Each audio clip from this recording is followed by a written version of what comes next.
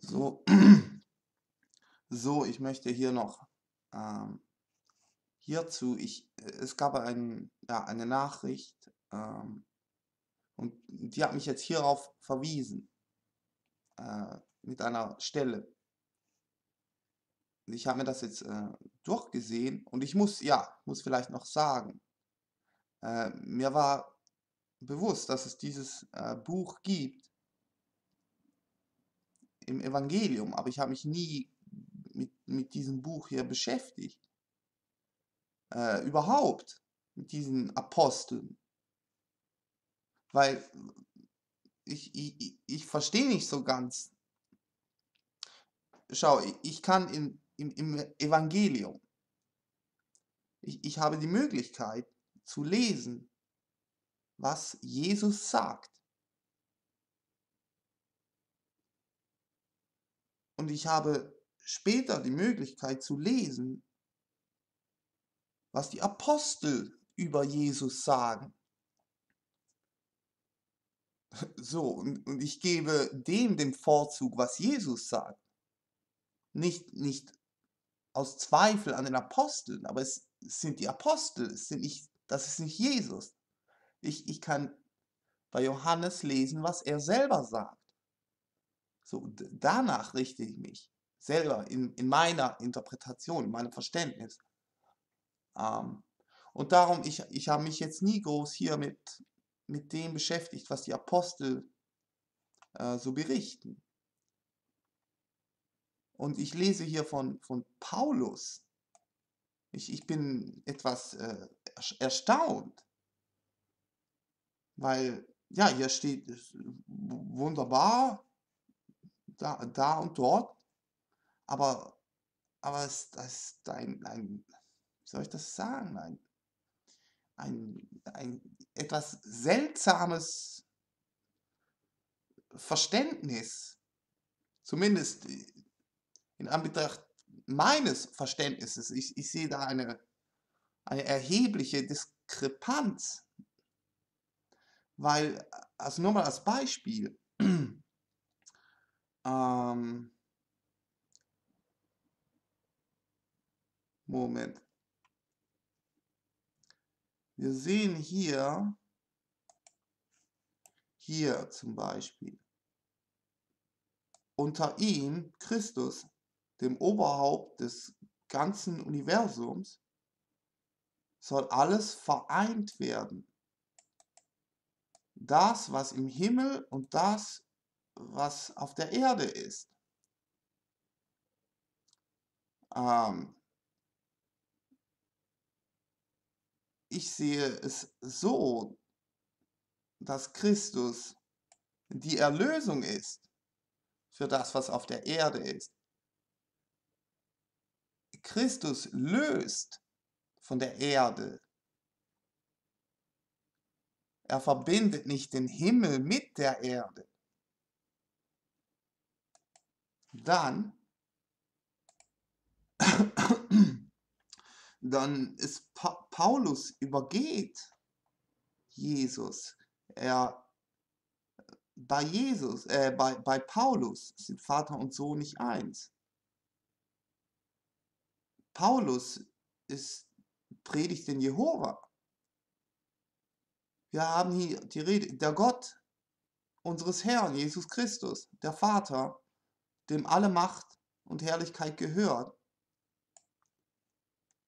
ähm, es ist so, das, was dem Vater ist, das ist des Sohnes. Alles, alles ist Jesus in die Hände gegeben. An ihm entscheidet sich alles. Das Reich des Vaters ist das Reich des Sohnes. Das Reich des Vaters ist das Reich von Jesus Christus. Der Sohn und der Vater sind eins.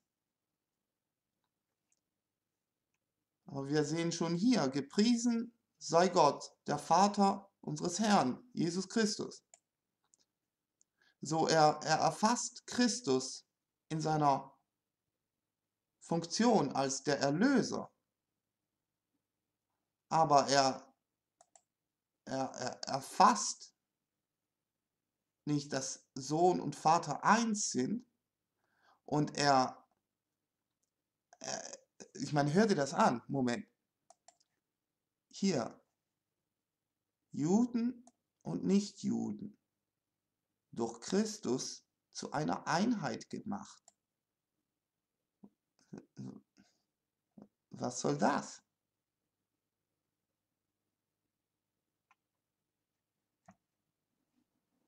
Hier steht, Moment, wo war das? Hier. Es, es beginnt hier, 15.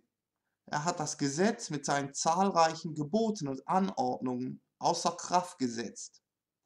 Äh, mit das Gesetz ist gemeint all die mosaischen Anweisungen. Aber das stimmt nicht. Jesus hat es nicht außer Kraft gesetzt. Er hat es erfüllt. Er hat es, er erfüllt alles für all jene, die an ihn glauben. Er ist der Erlöser. So, das Gesetz ist nicht außer Kraft, sondern es ist erfüllt durch Jesus. Das ist ein Unterschied. Und es geht weiter. Sein Ziel war es, das sagt Paulus, Juden und Nichtjuden durch die Verbindung mit ihm selbst zu einem neuen Menschen zu machen und auf diese Weise Frieden zu schaffen. ist Jesus gekommen, um den Frieden zu schaffen? Oder ist Jesus mit dem Schwert gekommen, um zu trennen? Und zwar zu trennen zwischen Leben und Tod und zu trennen zwischen jenen, die an ihn glauben und jenen, die nicht an ihn glauben. Er ist nicht die Verbindung, er ist die Trennung.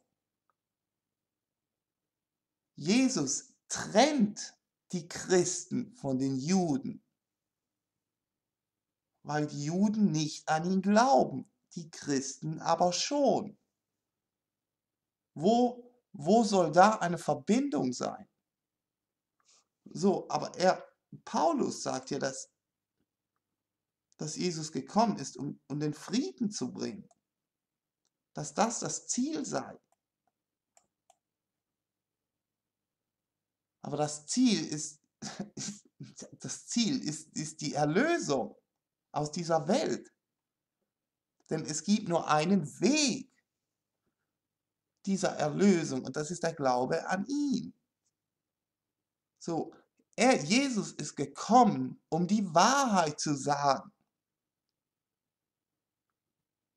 Und jene, die die Wahrheit hören, die glauben an diese Wahrheit.